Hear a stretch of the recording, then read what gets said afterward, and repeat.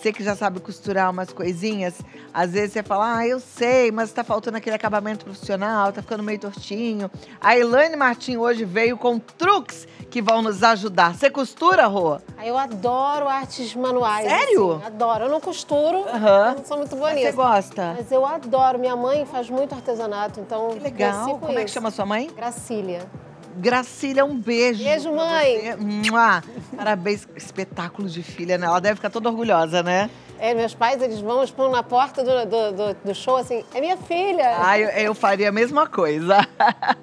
Elaine, quanto tempo? Tudo bem? Que saudade de você. Seja bem-vinda, viu? Obrigado. Quer dizer que então hoje é truque pra gente fazer bonito. É isso aí, Clau. Eu trouxe umas sugestões para quem quer começar. Fala assim, ah, eu não tenho aquele pé calcador, como que eu vou fazer? Então aqui algumas dicas para isso. Tá joia. Vamos lá? Vamos. Sabe aquele alfinete que abre e fecha? De fralda. É, a gente vai usar esse amigo aqui para costurar facilmente elástico.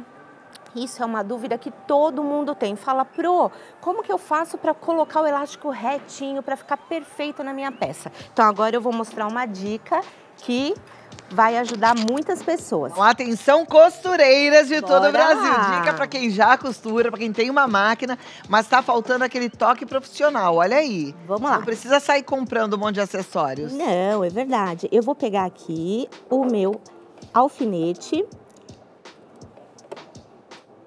posicionar ele aqui, ó.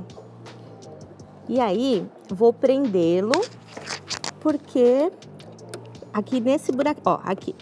Deixa eu trazer um pouquinho mais para trás. Aí, pronto. Então a minha ferramenta, a minha ferramenta tá colocada Estão aqui. vendo que é o alfinete que tá aqui, né? Tá? Deu pra ver? Aí com uma, uma chavinha de fenda, abre aqui, né? E coloca ele. Levanta um pouquinho só a câmera, Abdi, porque eu acho que o pessoal não viu que era um alfinete. Aí, ó, ó, o alfinete. Um Agora deu pra alfinete ver como legal. esse. Tá. Aí coloquei ali, prendi aqui nesse é, parafusinho, né? Vou colocar um pouquinho pra cá e ok. Bom, então pego aqui o meu elástico e nesse buraquinho que ficou aqui, é, a mostra pra gente, né? Eu vou passar o meu elástico dentro deste furinho. Olha só que legal. Vamos lá, peraí. Deixa eu pegar aqui. Aqui. Passei o elástico e vou colocá-lo aqui na frente. Pronto, a minha máquina está preparada para colocar elástico. Vou pegar aqui um tecidinho e mostrar como é fácil. Olha só, vamos lá. Vou costurar nesse daqui, coloco. E aqui com essa mão, eu vou puxar um pouquinho o meu elástico, né? Para ele ficar tensionado. Vamos lá. Peraí. Deixa eu puxar aqui certinho. Aí. Escorregou. Sempre acontece isso. Quem é veterana sabe. E aí a gente vai puxar o nosso elástico aqui. Peraí, vamos lá, menino. Coopera aqui comigo. Ó, eu trouxe aqui, ó. Hum, Olha só, ele vai ficar assim. Espera aí que eu já vou. vai ficar retinho. Vai ficar O retinho. maior desafio que eu tô vendo é encaixar ali, né? É, mas espera aí, deixa eu trocar o tecido. Aham. E aí eu acredito que vai ser Ah, você tranquilo. colocou uma seda, um voalzinho? Isso, e ele tá É. escorregando. Tá escorregando. Uhum. E aí agora eu vou colocar esse outro. Vamos por este. Puxa aqui, ó. E aí ele vai certinho aqui.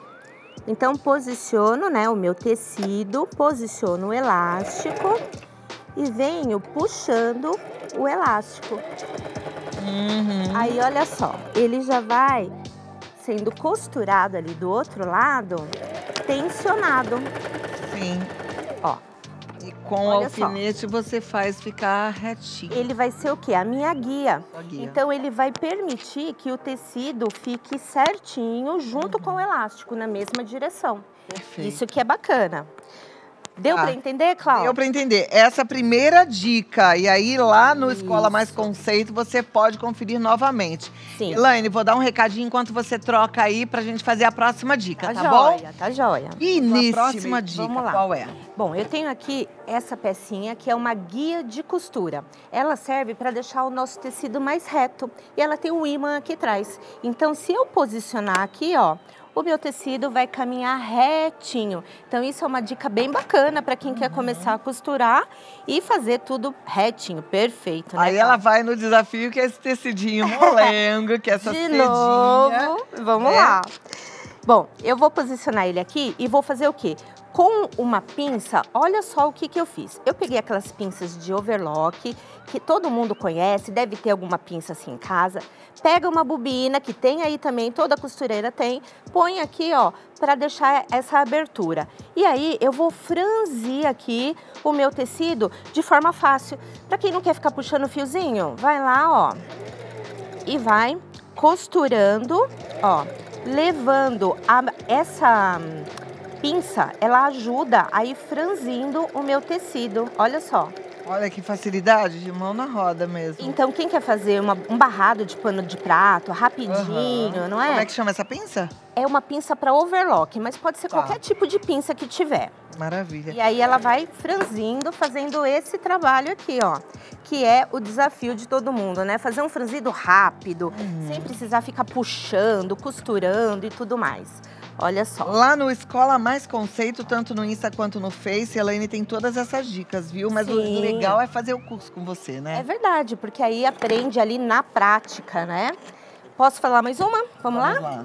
Bom, eu vou mostrar agora como que a gente faz esse cantinho aqui, ó, que é um desafio para todo mundo. É o canto mitrado. As meninas chegam lá na escola falando assim, Pro, eu quero saber como que eu faço isso. Então vamos lá. Eu vou pegar um tecido, aqui eu peguei um tecido sugestão, né, um retângulo. Ele tem 35 por 28. E aí o que que eu vou fazer? Eu vou dobrá-lo. Olha só, eu já marquei aqui para ser mais fácil, então eu dobro aqui e dobro essa lateral.